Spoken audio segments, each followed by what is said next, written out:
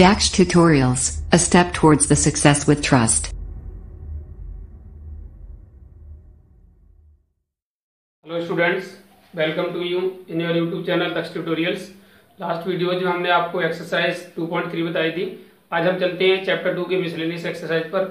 इसका पहला क्वेश्चन है जिसमें आपको दो फ़ंक्शन एफ़ एक्स और जी एक्स दिए हुए हैं डिफरेंट कंडीशन के साथ। हमें ये पता करना है in this question show that f is a function and g is not a function तो देखते हैं क्वेश्चन में क्या दिया हुआ है आपका एफ़ एक्स इक्वल टू दिया है x square x is less than greater than equal to 0 and less than equal to 3 and uh, fx equal to 3 when x is greater than equal to 3 but less than equal to 10 ऐसे gx दिया हुआ है x square when x is greater than equal to 0 and less than equal to 2 and uh, 3x when x is greater than equal to 2 and less than equal to 10 यहाँ पर हमें ये बताना है कि इसमें से fx आपको ये शो करना है कि एफ़ एक्स हमारा फ़ंक्शन है और जी एक्स हमारा फ़ंक्शन नहीं है।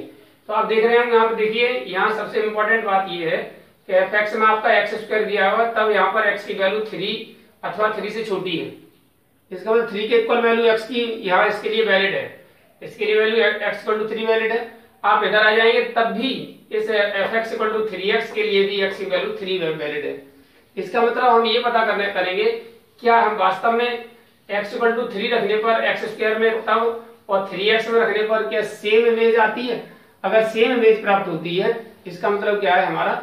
ये फ़ंक्शन वैलिड है। भाई फ़ंक्शन रिलेशन कौन सा रिलेशन फ़ंक्शन होता है?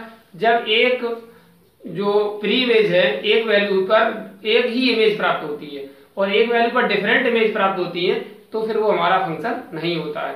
इसलिए हम ये पहले पता करते हैं इसकी इमेज यानी इसकी वैल्यू क्या आएगी। हम रहे सीधे सीधे बात ये समझिए कि x की वैल्यू इसमें रखेंगे तो एफ़ एक्स की वैल्यू क्या आती है? डिफरेंट एक ही वैल्यू पर डिफरेंट फ़ंक्शन के साथ रखेंगे। एक बार f x two three x square में लेंगे, एक बार f x two three x में लेंगे। तो दोनों में वैल्यू अगर सेम आती है तो हम कह सकते हैं ये फ़ंक्शन डिफाइन है और फ़ंक्शन हमारा ये रिलेशन हमारा कैसा फ़ंक्शन है।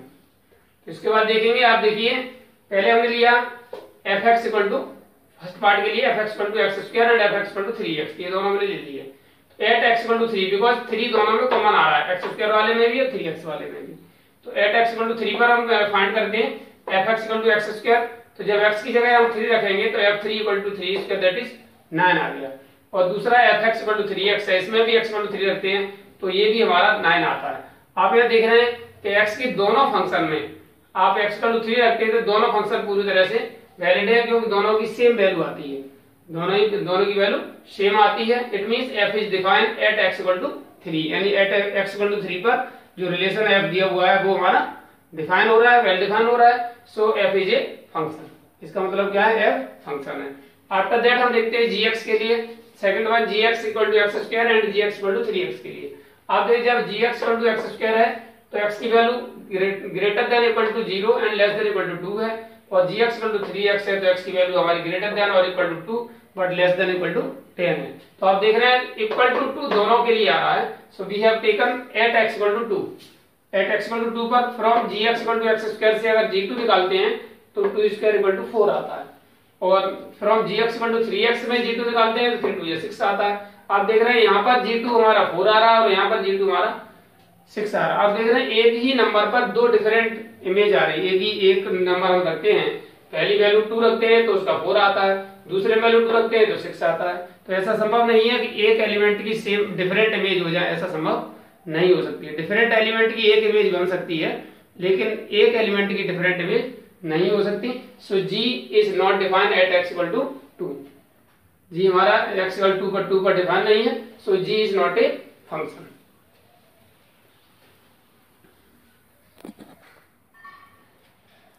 after that your next question number second in which you have given fx equal to x square and have to find f 1.1 minus f1 ये वैल्यू हमें फाइंड करनी है अपॉन 1.1 माइनस 1 इसकी वैल्यू हमें find करनी है तो आप देखेंगे पहले हमने f 1.1 फाइंड किया तो जहाँ x है वहाँ 1.1 रख देंगे और f 1.1 इक्वल टू 1.1 का होल स्क्वायर दैट इज़ 1.21 हो गया आपका 1.1 का होल स्क्वायर करेंगे तो 1.21 मिलेगा।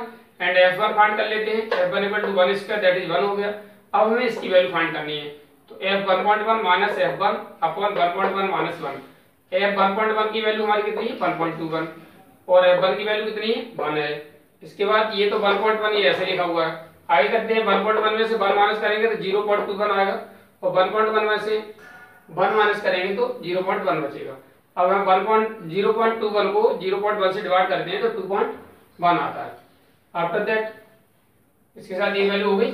इसके बाद देखिए नेक्स्ट आपको question number three question number three में find the domain of the function f x ये कोई फ़ंक्शन दिया हुआ है आपको, इसका हमें डोमेन फाइंड करना है। एफ़ एक्स पर two x square plus two x plus one और x square minus eight x plus twelve तो पहले हम क्या करते हैं, इसके फैक्टर करते हैं। तो ये आप देखेंगे एक्स प्लस वन का होल स्क्वायर है। और इसके अगर फैक्टर करेंगे, इस पुलिंग मेथड से या किसी अदर से भी तो हमें मिलेगा एक्स माइनस टू और एक्स माइनस सिक्स अब इसके बाद आप देखते हैं, ये जो फ़ंक्शन डिफाइन होगा, यहाँ पर इनमें से कोई भी ज़ीरो नहीं होना चाहिए। अगर ज़ीरो हो गया तो फिर अनडिफाइंड हो जाएगा। तो we have written f x is defined f is not defined for x minus two equal to zero यानी x minus two equal to zero के लिए डिफाइन नहीं है, और एक्स माइनस सिक्स के लिए भी define x minus six equal to zero पर भी डिफाइन नहीं है। तो इसलिए हमारा यहाँ पर that is x minus two equal to zero तो एक्स इक्वल टू टू हो गया और x minus six equal to zero है तो एक्स इक्वल टू हमारा सिक्स हो गया। सिंपली हम ये कह सकते हैं कि ये हमारा जो एफ़ है, वो इसके लिए डिफाइन नहीं है। इसके लिए एक्स टू टू और एक्स टू सिक्स पर ये डिफाइन नहीं होगा। क्योंकि एक्स टू रखोगे तो टू से टू के ज़ीरो हो जाएगा तो भी डिफाइन नहीं होगा और सिक्स रखेंगे तो भी ज़ीरो हो जाएगा डिफाइन नहीं होगा। इसका मतलब एक्सेप्ट टू और सिक्स ही हमारा फ़ंक्शन डिफाइन हो जाएगा। सो डोमेन ऑफ़ एफ़ हमारा क्या हो जाएगा? X that x is a real number but x is not equal to two and x is not equal to six यानी एक्स इक्वल टू एक्स की सभी real value के लिए define होगा। सभी के लिए डोमेन डोमेन सभी डोमेन होंगे। But x equal to two और एक्स इक्वल टू सिक्स इसका डोमेन नहीं हो सकता।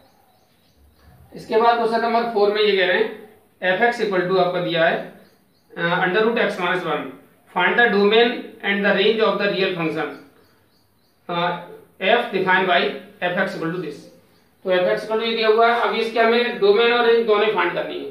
तो अब ये डोमेन तो इसी बात पर डिपेंड करता है फ़ंक्शन किस वैल्यू के लिए डिफाइन होता है।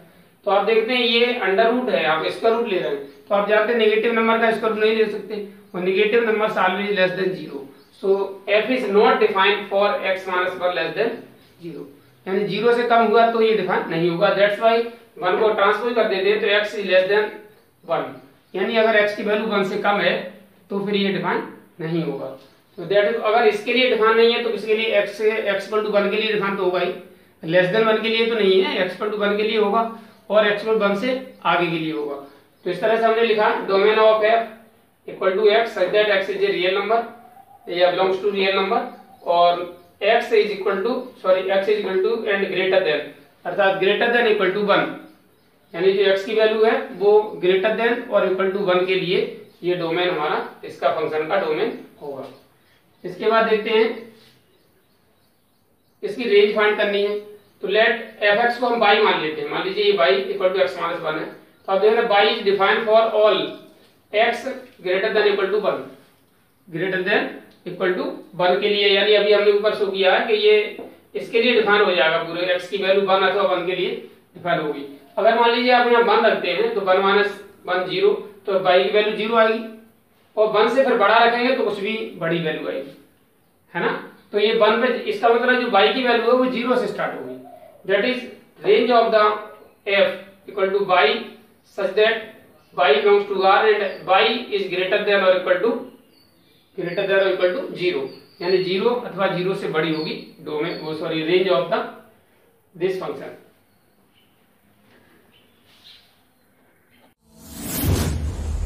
DAX Tutorials presents online live classes mobile number 8279452537. After that, your next question is fifth one. इसमें कहा गया find the domain and range of the real function f defined by fx equal to modulus x minus one देखिए आपको ये function दिया हुआ है f x equal to x modulus x minus one हमने सॉल्यूशन लिया है। जैसा कि आप जानते हैं f is defined for all real value of x यानी जो फ़ंक्शन है हमारा, वो प्रत्येक एक्स की प्रत्येक रियल वैल्यू के लिए डिफाइन होगा। सो डोमेन ऑफ़ एफ़ हमारा जब ये प्रत्येक वैल्यू के लिए डिफाइन है रियल वैल्यू के लिए तो डोमेन भी हमारा डेफिनेटली रियल ही हो जाएगा। So domain of f x that x belongs to real number that's one real यानी पूरा जो डोमेन होगा, वो इस फ़ंक्शन का डोमेन जो होगा, वो क्या होगा? रियल नंबर होगा। यानी सेट ऑफ़ रियल नंबर कह सकते हैं। And for range let f x equal to y यानी जो फ़ंक्शन है उसको हमने बाई मान लिया। अब आप y equal to x modulus x minus one आप देख रहे हैं जो बाई की वैल्यू है, आप एक्स की जगह रियल वैल्यू कोई भी आप रखेंगे नेगेटिव रखें या पॉजिटिव रखें। अगर आप नेगेटिव रखते हैं तो भी पॉजिटिव आएगा और पॉजिटिव रखते हैं तो भी पॉजिटिव आएगा और ज़ीरो रखेंगे तो ज़ीरो आएगा।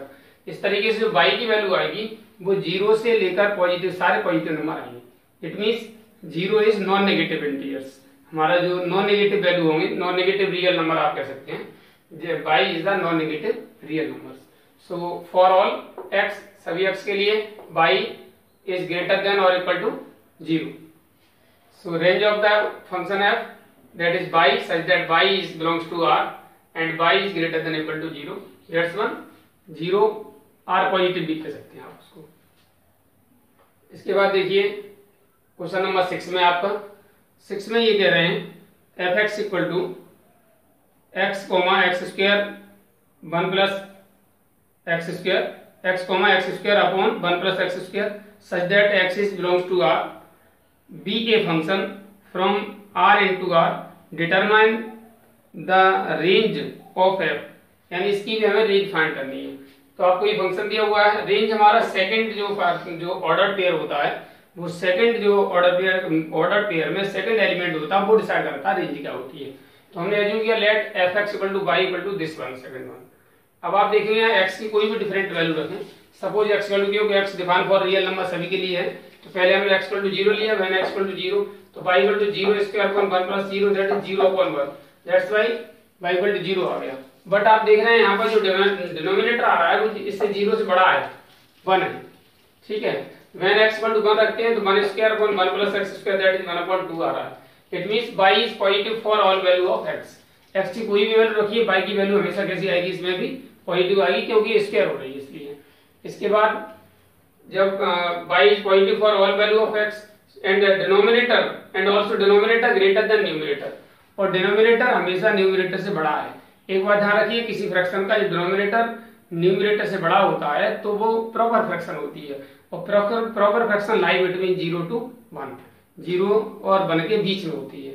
Greater than zero and one less than one so range of y f y such that y belongs to R and y belongs to zero comma one ये ओपन इंटरवल में लिखा हुआ है zero to one इसके बाद देखिए, आपका question number seven है वेरी सिंपल क्वेश्चन है। इसमें ये function f and g R to R be define respectively fx equal to x plus 1 and gx equal to 2x minus 3 find f plus g, f minus g, f upon g. तो f plus g means add कर देंगे दोनों को। तो x plus 1 plus 2x minus 3 2x और x 3x that is 1 minus 3 that is minus 2 so it is f plus g equal to f 3x minus 2 f minus g find करेंगे तो f वाले function में से g वाले function में minus कर देंगे। माइनस करते हैं तो x plus 1 माइनस का 2x हो जाएगा प्लस का 3 हो जाएगा। तो थ्री प्लस वन फोर हो गया माइनस के टू एक्स प्लस का एक्स माइनस एक्स हो गया। It is the f minus c f upon g find करेंगे तो x plus one upon two x minus three but ये हमारा कभी ज़ीरो नहीं हो सकता, क्योंकि ज़ीरो के लिए डिफाइन नहीं होगा। That is x belongs to real number and x is not equal to three upon two तो आज के लिए वीडियो में इतना ही। उम्मीद है हमारा वीडियो पसंद आया होगा। जिन छात्रों ने अब तक हमारा चैनल सब्सक्राइब नहीं किया, चैनल सब्सक्राइब करें। वीडियो को लाइक एवं शेयर करें।